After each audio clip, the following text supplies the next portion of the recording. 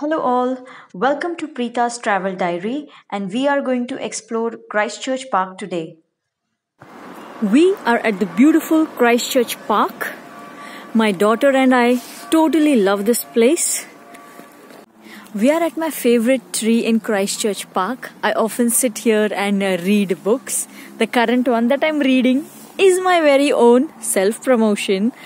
And the main reason why my daughter and I love Christchurch Park so much is because of the beautiful trees.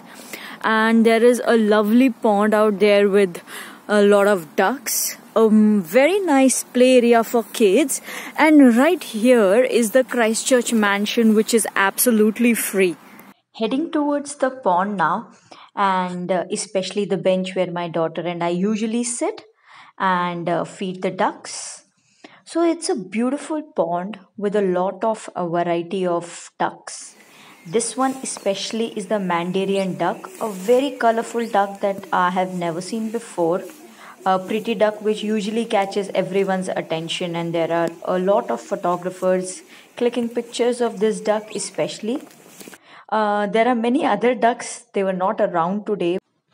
Moving on to the play area my favorite area and i think my daughter paris's favorite area as well so this is uh, one of the swings that i totally love i call it the mother daughter swing where paris and i sit together and somewhere I think I enjoy the park more than my daughter, maybe. I am playing more than her most of the times.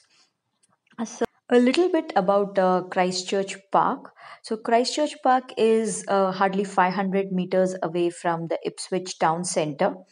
And on a bright and sunny day, it's the best place to have a good, relaxing day um, and have a picnic with your entire family apart from the play area there's huge huge places that you must have seen where you can simply sit in the lawn and uh, enjoy a good pa- uh, picnic family day.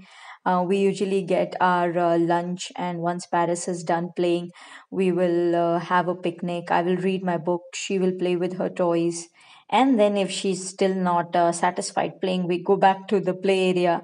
She enjoys uh, some more time there. And then finally we head home.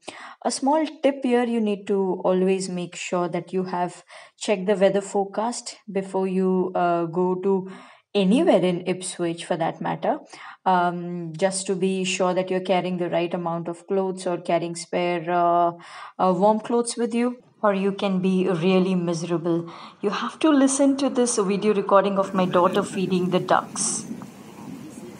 Oh, you love it? Yeah, yeah. It's not as bad as his previous haircuts, but wait, let, let's go back here. Have it, have it. Very good girl. Very good girl. I'll take two pictures for you. One is for you